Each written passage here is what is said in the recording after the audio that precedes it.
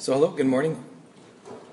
What I plan to do today is, is basically talk about my own direct-to-consumer exomes and kind of ask the question from an analysis perspective, from a bioinformatics perspective, which is my background here.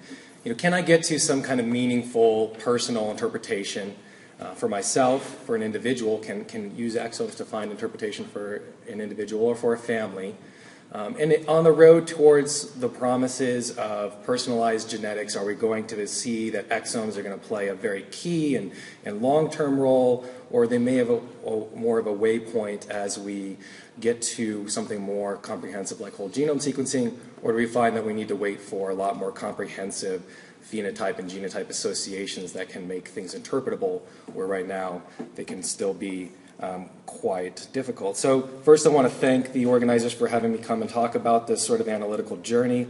Um, and it really did start back at the end of 2011. 23andMe sent an email out to their customers, and I was a customer of their. I have my genotypes called on their genotype array for myself, wife, and son, saying, you know, we're starting this pilot program to do exomes, and feel free to try to sign up, and you'll be emailed if you get selected to be in it. And so my first inclination was this would be very interesting. I mean, I would like to look at my own narcissism um, and you know see what's in there as well. But I knew if I had my wife's in there as well, I could do much more meaningful analysis. She has a relatively rare autoimmune disorder called uh, juvenile idiopathic arthritis, and I thought that would be really interesting, to, especially with the whole question of genetic heritability of these things, to know if it's all in the common um, uh, common SNPs or if something in the exome might sort of explain that story. And if I knew if I had my son in there, I could do some basic quality assurance tests with the data. And for the purposes of any of my public discussions, that's pretty much the extent in which my son's DNA gets involved. It's just purely from a QC perspective um, and looking at that. So that's kind of what I decided to do, and, and they were uh, gracious enough to include all three of my samples in their pilot. They were very clear that this is a pilot. It is not at the order of the interpretation and polish that they provide with their standard service. If you're not familiar, they do a lot of risk prediction, trait prediction, pharmacogenomics. They have their genotypes, and they're using a lot of literature to give you some very meaningful information from a consumer perspective. Um, but this is intended to be sort of a high quality uh, deliverable that they give you. And so, um, and so that's kind of where this started off. So I'm going to break this down into three components. At first, I'm really going to dig into that question about the quality. What do we get from a direct-to-consumer exome? How does that compare to some of the clinical grade exomes that we've seen talked about um, at this conference? Then I'm going to look at looking at my own exome and using sort of the standard analysis you would use with an exome analysis, which is generally to look at those highly penetrant, rare um, mutations that you might see in a Mendelian disease, and that's kind of been the poster child of where exomes have been extremely successful, and see what I can find for myself, and then finally um, see what I can apply in this uh, data towards seeing if uh, a, a genetic uh, explanation or looking at the genetic architecture of an autoimmune disorder with a single individual, which can be uh, potentially very daunting. So, first thing about 23andMe's uh, approach here, I think they really did a, a, best effort to follow best practices, to use standard technology. Um, they're using a HiSeq 2075 base pairs. Remember, this is sort of circa early 2012 when they started running these things. They're using a, Agilent SureSelect exome capture kit.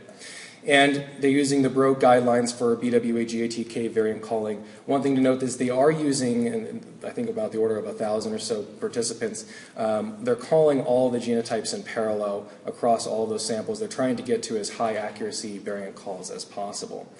And what they're delivering, and they do a very good job of making sure your privacy is protected, they have it on their servers, but they give you an encrypted file that contains the BAM files, which are essentially your alignments to the exome, your variant calls produced by GATK, um, and a PDF summary report.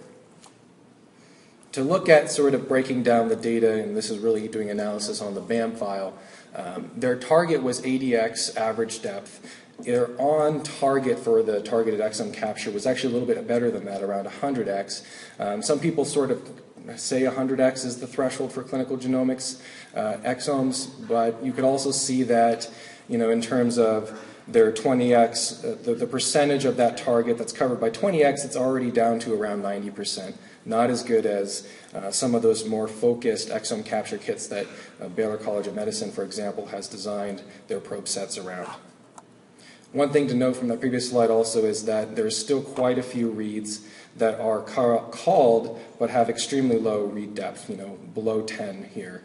Um, and so this is a histogram of all 100 and so thousand reads, and quite a few are still called with low reads depth, and that would be something you would definitely not take forward into any serious analysis. So to break down some of the um, uh, QA statistics here, if I were to filter, and they provided some basic filters built into the VCF, on read depth and genotype quality, and then look at the exonic regions. And this is where I can use the trio information. I'm finding only three Mendel errors um, that follow those basic filters. And all of those Mendel errors um, actually were essentially just systematic errors in the genotype calling. In this case, um, here's the father, mother, son. It's a perfect, you know, recessive pattern, two alleles in heterozygous in the son.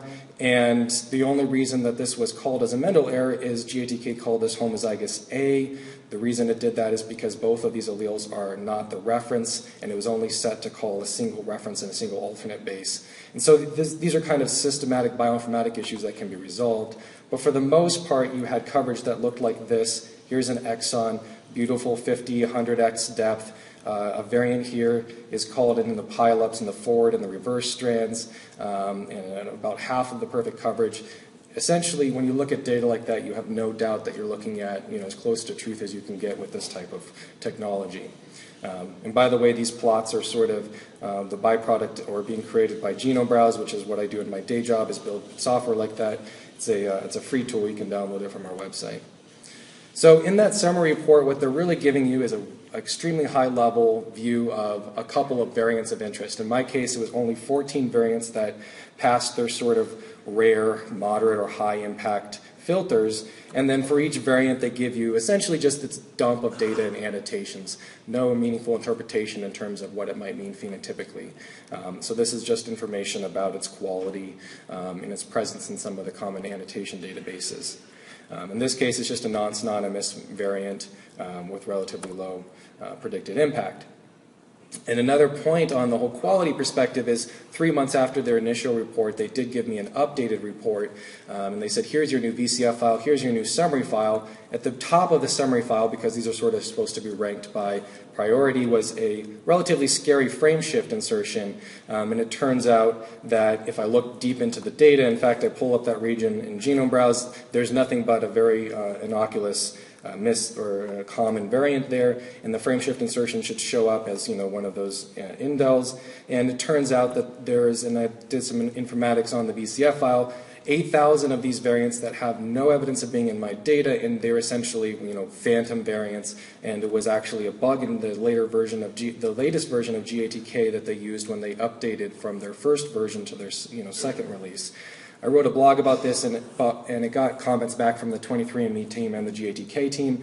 And you know, essentially, the moral of the story is simply if you're going to be doing production level uh, analysis, you have to validate every change to your pipeline.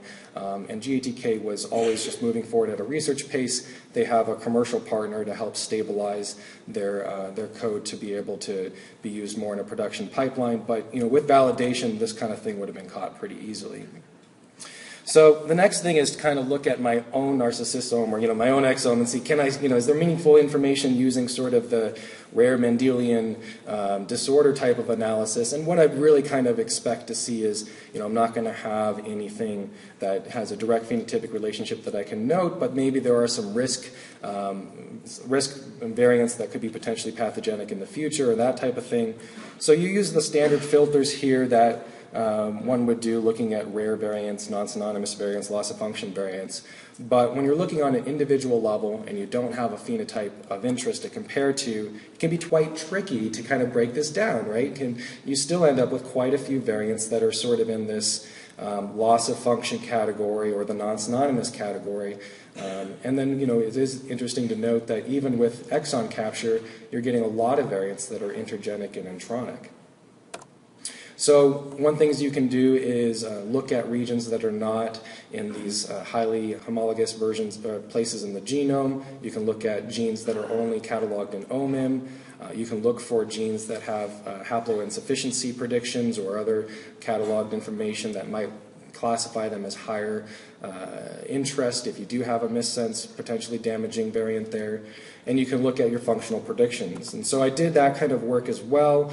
Um, and I was particularly look, interested to see if I had any homozygous mutations in genes that are sort of cataloged to have known clinical attributes. And so, with only having 16 of those, it was easy to pick through them. And this is homozygous and uh, hemizygous for my X chromosome.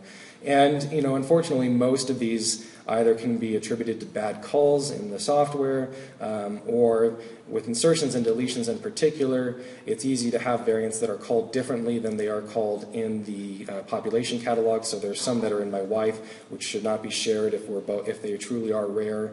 Um, but I did have some variants of unknown significance, hemizygous variants in the X chromosome, and one of particular interest that had extremely high um, confidence in being called. It was on the forward reverse strand. It was also very rare. It was not in the uh, NHLBI 6500s. It was not in 1,000 genomes, but it was in dbSNP, and dbSNP classified it as pathogenic. And from a consumer perspective, this is sort of the end of the road, unfortunately, because dbSNP does not have deep phenotypic information about why it's classified as pathogenic, right? Um, or even who, I mean, you have basically the lab that submitted the pathogenic status. You don't really know much more. But if you look into the function of OTC, it does have an interesting story. Um, it's part of the urea, urea cycle, and it can your deficiencies there if, if are um, uh, can be problematic early in life, potentially also later in life. Um, I'm hemizygous, so my mother's probably heterozygous. It does have to do with protein metabolism, and it is interesting that my mother has never been a big meat eater, and especially later in life, um, avoids any heavy protein very heavily. It's very hard for her to metabolize. So there's you know thought process going on on whether I could investigate that further, but it is very hard to get to any without sort of more phenotypic or other types of literature to know what's going on there. So I didn't come to any meaningful uh, conclusions other than to follow up on some um, you know, potential hits there and, and, really wait for a lot of the literature and potentially things like ClinVar to give me uh, more, uh, more details on how to interpret some of those rare variants. Um, so in terms of looking at what to do with an exome when you have potentially complex disease, the first thing I wanted to do was follow, again, the, uh, the, the search for highly penetrant variants. Um, so give me a little. I'm going to give you a little background of juvenile idiopathic arthritis. It's uh, it's it's not necessarily the same as rheumatoid arthritis, but it, you know, symptomatically is very much similar. But if you are diagnosed with it before the age of 16, that classifies you as juvenile. And it was actually usually called, or, or before 2000 or 1998, called juvenile rheumatoid arthritis. Um, they renamed it juvenile idiopathic. They're not. It's very not uh, well uh, understood all of the uh, pathogenesis of it, but it has a relatively rare but still you know manageable cohort size. In the United States, you see um, you know a rate of eight or 150 per 100,000 individuals. And the two main subclassifications are if it's within five or eight of your joints only, the arthritis, it's in the pauci-articular. Um, but if it's in all of your joints, it's in polyarticular. You also generally do not have the rheumatoid factor um, biomarker uh, that you would have with adult onset arthritis. And so my wife falls under the RF negative uh, polyarticular classification. And that seems to track relatively similarly in terms of the genetics, at least as far as it's understood, with uh, RA in general, in that it's um, the best estimations for RA is that it's 60% heritable. Um, the monozygotic twin studies concordance is actually lower than that, but the estimation of its heritability still stands at 60%. And if you look at the new, and there's been a lot of GWAS type studies on RA, and the meta analysis of all those, they, they think they have about 51% of the heritability explained doing all that combined band analysis. But you know, that's at a population level. What can I really do with that type of information at an individual level is the question I'm going to ask. And similarly, um, a large chunk of that heritability does fall in the MHC region with the HLA genes. So the first thing I did is follow a lot of the same um, uh, steps to look at rare, uh, potentially damaging variants, um, but I wanted to have that extra filter of looking at any variants inside genes that are associated or closely associated with JIA. And to do that, I actually um, used Ingenuity variant analysis. The folks at Ingenuity were gracious enough to let me run my samples through there. And with, uh, you know, as you can see, there's quite a few sort of rare variants, but only 36 that are one hop away from JIA, uh, JIA genes. They do have literature curated about which genes are involved in JIA. As I said, there's been a number of studies recently about that. So you can look through this, and I did look through this kind of one by one, um, and there's definitely some interesting stories. So, for example, in this one, this is NF kappa B1. Uh, my wife is heterozygous, but it's uh, predicted damaging, and it's in a gene that, um, in at least some mouse studies, um, a single mutation results in elevated expression of its pathway genes. Uh, and this is also in a pathway of interest. And you can see the variant is very clean, it's supported, it's right in the middle of this exon, um, supported by both alleles. So I would trust the variant call itself. And it has a suggestive pathway where it interacts with uh, um, on the order of six or seven genes that are published to be uh, directly associated with JIA, and, and, those are generally coming from population studies. So it's also not a novel variant, but it is quite rare, and if you look at sort of this frequency, it's on the order of the frequency of the occurrence of the disease in the general population in general. So that's quite interesting. It doesn't occur in a homozygous state in the NHLBI cohort. It's also worth noting the NHLBI cohort is not a control database. They have quite extreme phenotypes there. Um, I don't think they have a particular cohort specific to autoimmune disorders, they're mostly um, other things, but there's definitely enough extreme phenotypes that one could imagine um, some sort of shared um, risk along pathways here with those seven other individuals in that cohort that share that genotype.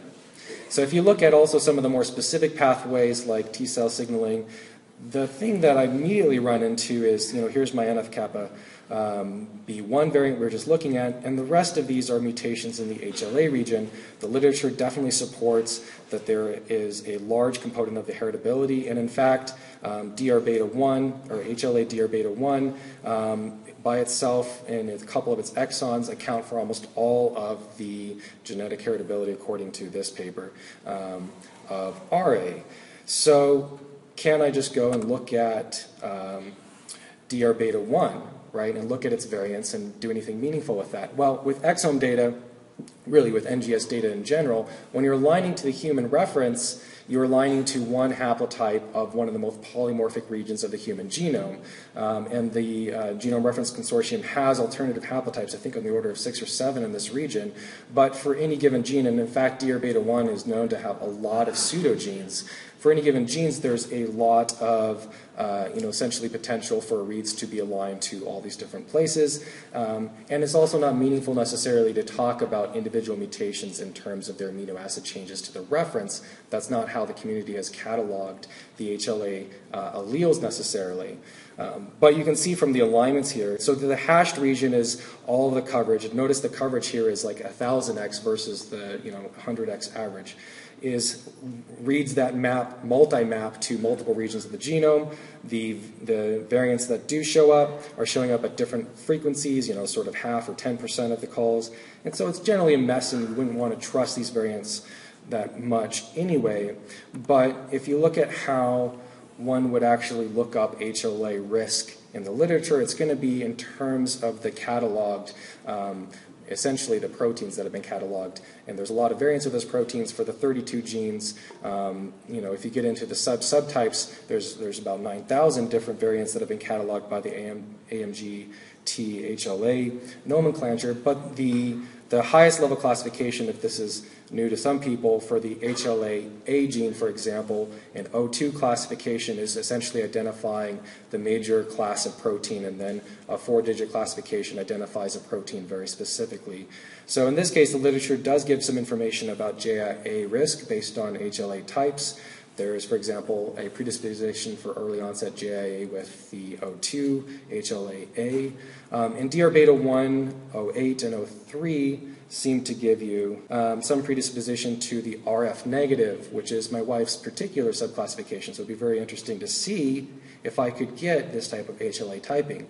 Well, I saw a talk um, at a couple conferences ago by this group called Omixon. They have some um, clever uh, algorithm secret sauce for doing alignment and particularly handling insertions and deletions. So they tackled the problem of using exomes to get to HLA types, and they essentially aligned for a single gene to all of the known um, different types individually and then rank their, their probability that they have the best possible type.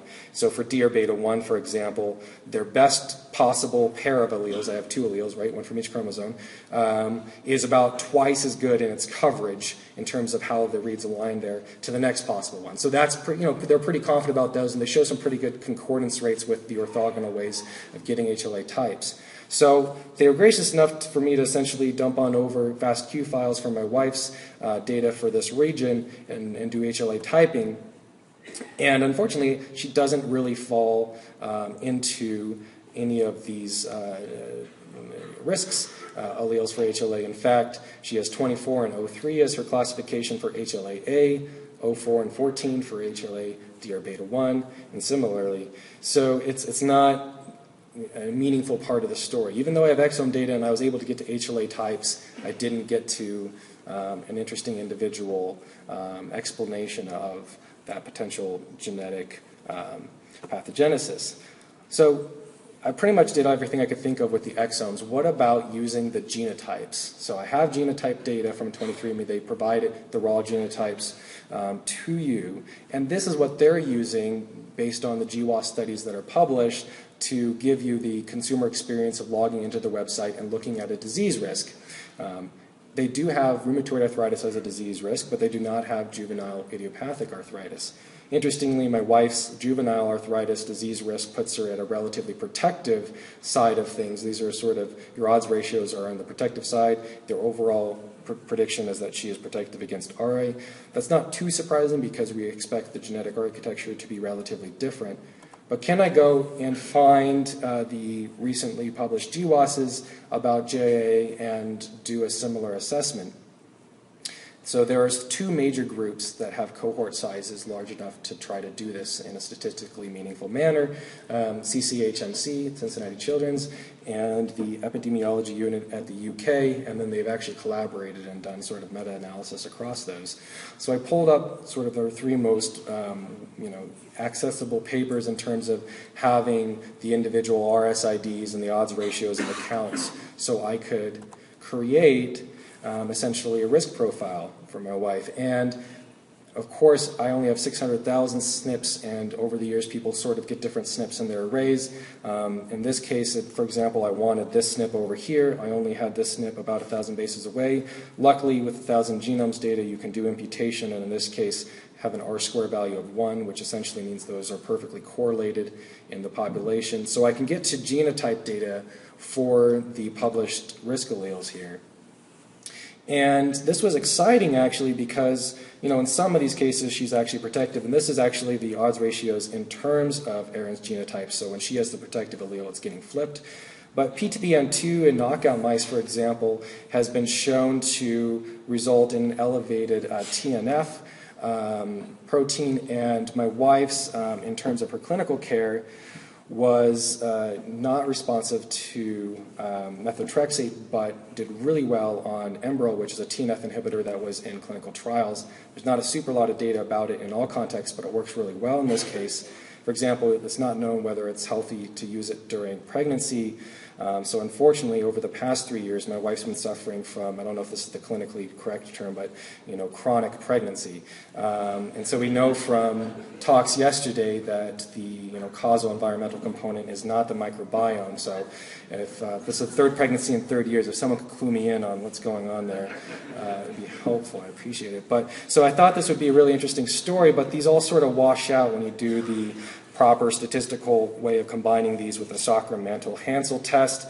And so I did this with the UK cohort. The CCHMC um, one actually put her a little bit protective. The, um, the, the, newer paper, which was specific to JIA, is a, is a little more high, higher risk. And all in general, you know, it's a little disappointing I don't have anything too, um, too comprehensive or, or I guess, a suggestive story as to the, the common variants, um, leaving a, a story of, of, why she would have JIA.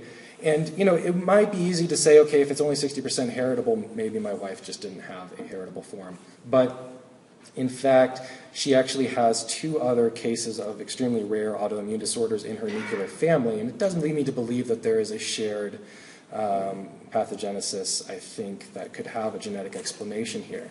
And so, in terms of saying, well, let's just throw really, really large cohorts at this problem, um, in fact, you know, her subclassification is so rare that that's relatively impossible. So, I think some of the interesting work people are doing, like Dr. Jared Napalm, in trying to say, well, maybe we can get to a really well classified subphenotype inside of a family with some biomarker data and maybe understand the genetic architecture of just that family and build on that might be useful. But um, in general, um, I did not get to a lot of meaningful interpretation of, of my wife's data, but the sort of search continues, and I'll be looking at the literature and the clinical phenotype genotype data as it continues to progress. But I do have to thank Peter Gregersen, Jared Napalm. They spent some time with me talking about how I would go about this, and I used um, software from my own company here that I build on my day job, our SNP and variation suite for doing the analysis, Genome Browse for the visualization, um, Ingenuity for the variant analysis, and Omixon for doing the haplotyping, and 23andMe for giving me some exomes to play with.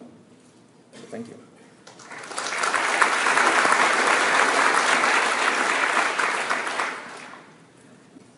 Hadn't heard narcissisome before, but I think it might stick. so what's next? What are you gonna, what are you gonna? What's your next quest? Well, um, epigenetics. Well, and to be honest, there's a lot of things, especially in the whole genome spectrum, that you know, if, if those tagging SNPs for those common variants that are highly associated, and some of these have some pretty impressive odds ratios, um, especially with the ENCODE data, could be nailed down to their causal mutations in the regulatory regions. I'm going to be using that data if I at all can. So, absolutely.